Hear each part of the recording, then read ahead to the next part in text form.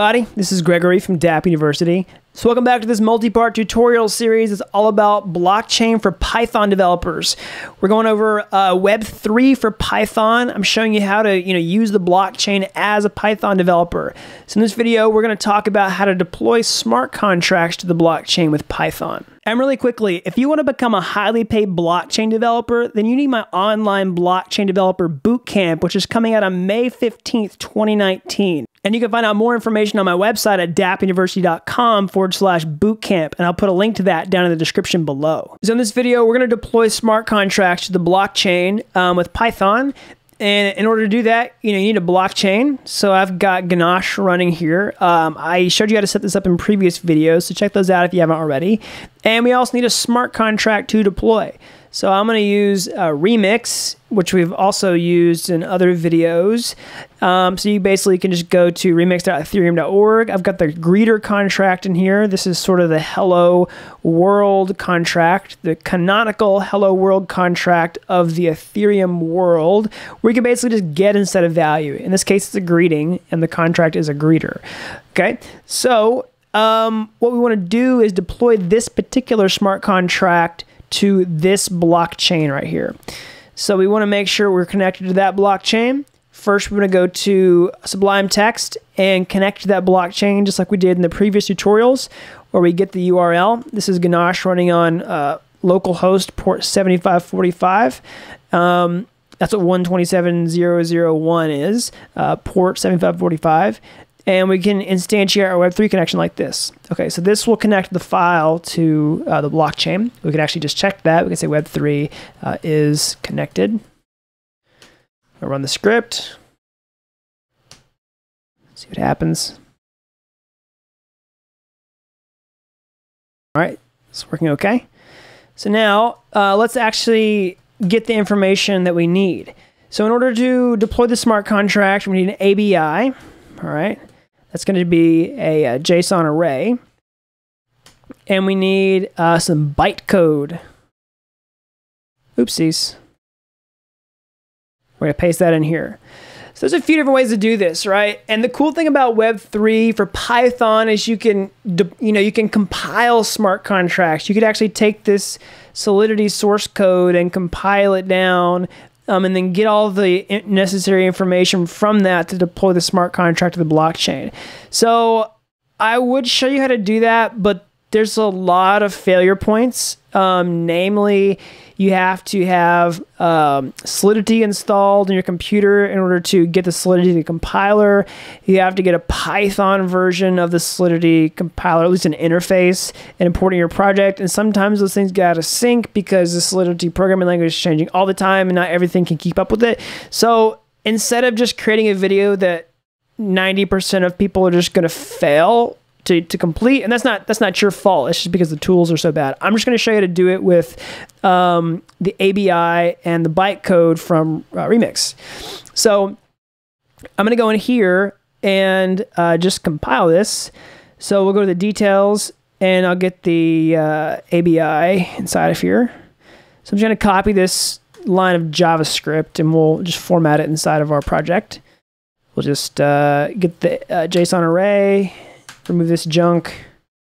Say ABI is this. All right. And now we're actually going to uh, load the JSON. We'll say JSON. We've got JSON imported here. JSON loads. And then do that. All right. And now we want the bytecode, which we're going to get from here. So let's scroll down and go to uh, this object right here and copy it and paste it inside of our string. Okay. This is going to be the bytecode that we need in order to deploy the smart contract. Okay, so these two pieces of information are what we need in order to deploy it. And also, we need an account to deploy it from, which will be this one, because we need some Ethereum cryptocurrency in order to you know create transactions and deploy smart contracts to the blockchain. So I'm going to set the default account Web3 uh, ETH default account uh, is equal to Web3 ETH accounts zero, which is going to be the first account on the list, which is going to be this one right here. All right, so now uh, let's actually instantiate this contract. We'll say greeter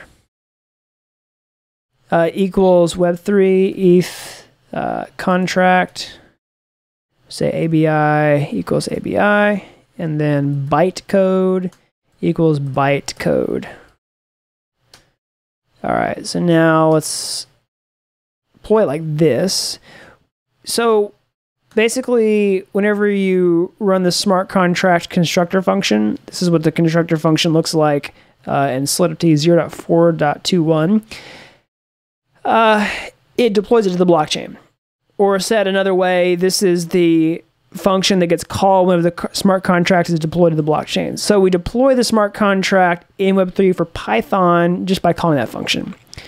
So we say, uh, I can get the transaction hash from that. CTX hash equals greeter constructor.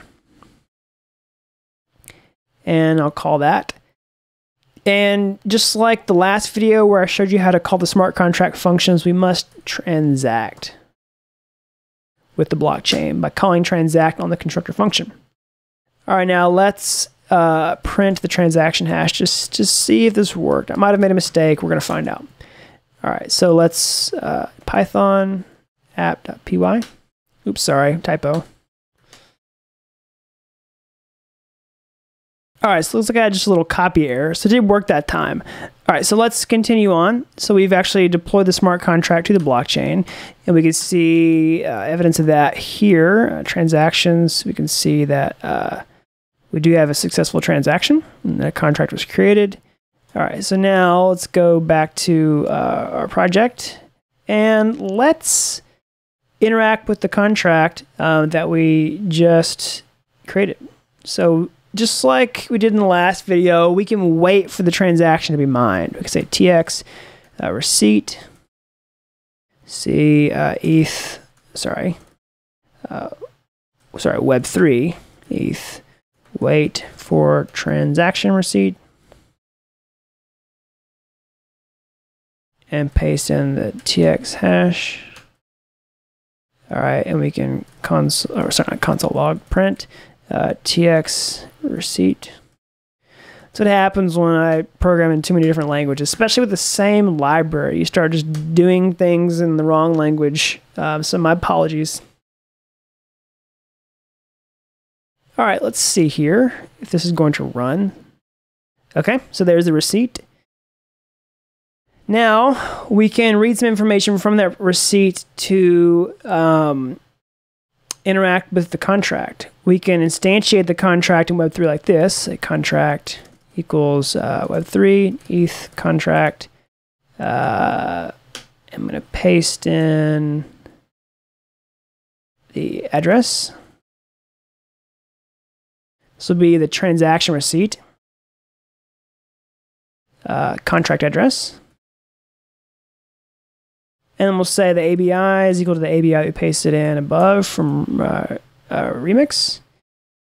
And now we can uh, basically call the functions. So we can say print contract functions greet call. See what we get. All right, there's the greeting. And just like the last video, we can update the greeting. We can say uh, tx hash, which will overwrite in this case, contract functions uh, set greeting. Hello. And we'll transact. All right, and then we'll, same thing, we'll wait for the transaction to finish. And then we will print uh, contract functions greet call. All right, let's run it and see if it actually changes. There we go. We can see the new greeting printed out to the console. All right, guys, so that is it. That's how you deploy smart contracts to uh, the blockchain with Web3 and Python. So, like I said, there's other ways to do this. You know, I can leave you with an exercise if you're feeling brave. Um, you can actually try your hand at uh, compiling the source code for the smart contracts. Um, I'll show you how to do that right now, just for your own sake.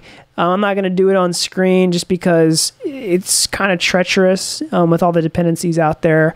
Um, but I'll point you to the reference of how you can do it yourself um, if you want to do it on your own time. All right, so here it is. So basically, what you need is the Solidity source code. This is the same as the greeting contract we just used in Remix. Um, so what you have to do is you can get the Solidity source code and compile it with um, the Solidity compiler, right? But here's the thing: you need to install the Solidity compiler. Right, so this can be kind of tricky because the Solidity compiler keeps like updating all the time, and sometimes the version gets out of sync with uh, the Python uh, version or the Python interface for the Solidity compiler, and you can find yourself eh, with facing a lot of problems.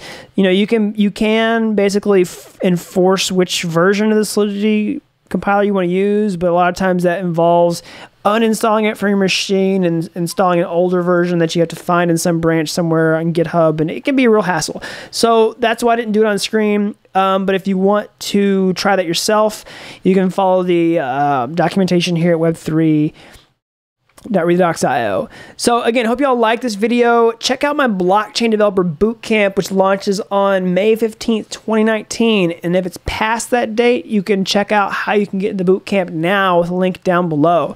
So again, hope y'all like this video. And until next time, thanks for watching Dapp University.